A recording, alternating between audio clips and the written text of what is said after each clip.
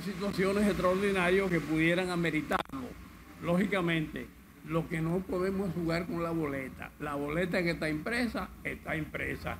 Y si hay algún cambio, como en otras ocasiones ha habido, por diversas razones, lo que se hace es que sale la foto del que está y los fotos se le acreditan a la persona que lo sustituye. Eso ha pasado en otras ocasiones, no sería, pero está haciendo boleta y no, no debemos estar jugando con eso, ¿no? La información la había dado a conocer Rubén Maldonado, coordinador nacional de campaña del partido opositor, quien aseguró que el arbitraje de la Junta Central Electoral sobre las impugnaciones viola los derechos democráticos de Rafael Paz.